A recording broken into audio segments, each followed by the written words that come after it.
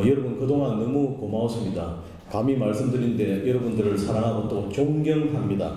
어, 늘 저희 국제신문을 아껴주시기 바랍니다. 그동안 너무나 고마웠습니다. 감사합니다.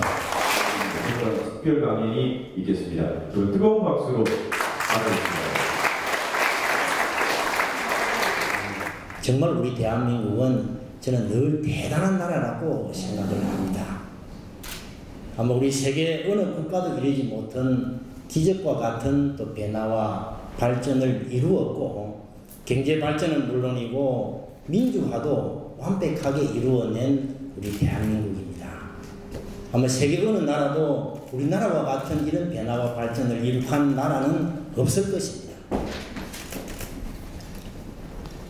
우리 2차 대전 이후에 독립한 나라치고 우리나라와 같은 이런 경제 발전, 이런 민주화를 이룬 나라는 없을 것입니다.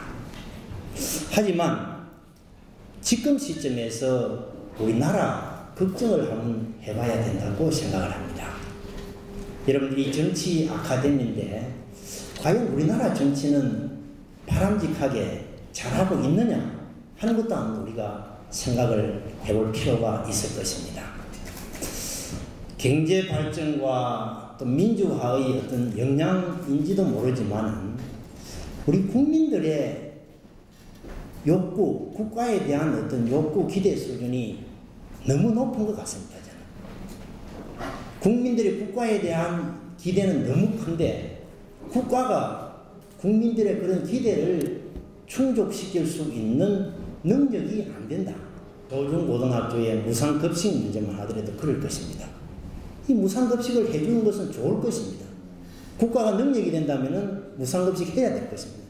근데 국가가 능력이 안 될 때도 불구하고 무상급식을 다 한다면 어떻게 그걸 감당할 수가 있겠느냐.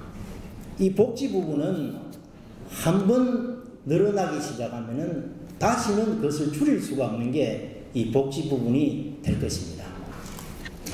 어, 결과적으로는 저는 우리 국민들의 과도한 어떤 욕구 를 국가가 다 충족시켜 줄 수는 없다 하는 그런 측면에서 우리 정치가 이런 부분의 역할을 해야 되지 않겠느냐. 우리 정치인, 정치 지도자 또 정당은 아마 늘 우리 국가 이익을 생각을 하고 그게 최우선하는 그런 어떤 정치가 돼야만이 우리가 신뢰받는 그런 정치가 저는 될 수 있을 거다. 저는 그렇게 또 생각을 합니다. 이 아마 정치 부분은 아마 여러분들은 많은 이야기를 다 들으셨기 때문에 제가 더 이상 말씀드리지는 또 않겠습니다. 하여튼 우리나라 정치가 바른 길을 가려면 우리 정치 지도자들이 국익을 먼저 생각을 하고 국익 우선에 그런 어떤 정치를 또 해야 될 것이고 또 우리 우리나라가 안고 있는 여러 가지 해난 문제들을 늘 깊이 걱정하고 그걸 해결하기 위해서 정치인들이 최선의 노력을 다하는 그런 열정들이 우리 한국 정치의 선진화를 위해서는 꼭 필요할 것이라고 생각을 합니다. 과연 우리 부산이라는 도시는 어떤 도시로 앞으로 발전해야 될까? 우리 부산이라는 도시가 안고 있는 도시의 목표는 어디에 있을까? 하는 것을 여러분들에게 간단히 한번 제가 말씀을 드리겠습니다. 어, 저는 우리 부산이라는 도시는 국내적으로는 우리나라 대한민국의 남부권의 중심 도시가 되어야 된다고 생각을 합니다. 정치, 경제, 사회, 문화, 교육, 의료 모든 부분에 우리 부산이 대한민국의 중심 도시가 되어야 되겠다. 서울은 우리나라 수도지만은 서울은 우리나라 중부권의 중심 도시가 되고 통일이 된다면은 평양은 우리나라 북부 지역의 중심 도시가 되고 우리 부산이 대한민국의 남부권의 중심 도시가 되어야 되겠다. 국제적으로는 국제적으로는 우리 부산이 모든 부분에서 세계 1등 도시는 될 수가 없을 것입니다. 여러분 알다시피 우리 부산은 세계적인 아주 좋은 항만을 가지고 있습니다. 우리 부산항은 세계 어디 내놔도 손색이 없는 그런 중심 항만입니다. 이런 부산항의 이점을 잘 살려서 저는 우리 부산은 동북아의 해양 물류 중심 도시가 되어야 된다고 생각합니다. 또 국제적으로는 우리 부산은 국제 회의하기 아주 좋은 여건을 갖고 있습니다. 또 우리 부산은 세계 어느 도시보다도 좋은 자연도 환경을 갖고 있습니다.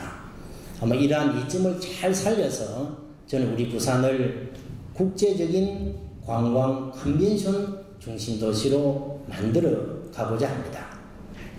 또 한 가지는 여러분 알다시피 우리 부산은 세계적인 또 국제 영화제를 개최하고 있습니다. 우리 국제 영화제는 불과 짧은 역사인데도 불구하고 아시아 최고의 영화제, 또 세계적인 영화제로 평가를 받고 있습니다.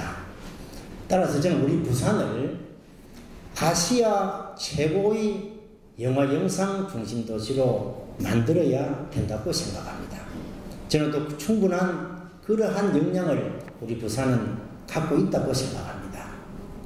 그래서 우리 부산이라는 도시는 국내적으로는 우리 대한민국의 남부권의 중심 도시, 또 국제적으로는 동북아의 해양 물류 중심 도시, 또 국제적인 관광 컨벤션 중심 도시, 아시아 최고의 영화 영상 중심 도시로 만들어야 되겠다는 그런 도시 목표를 가지고 이러한 도시를 만들기 위해서 여러 가지 대행 프로젝트를 추진하고 있습니다.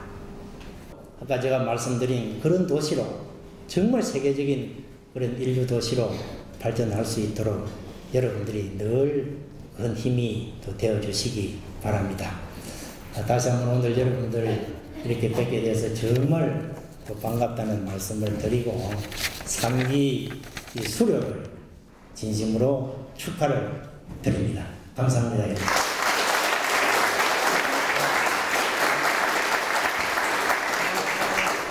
굉장히 감사합니다. 아, 정말 부산에 계시는 사장 차승민.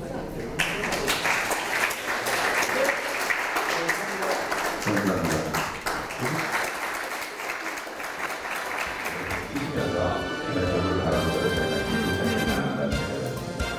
사진 촬영하겠습니다. 환하게 미소 띄고 촬영할게요. 다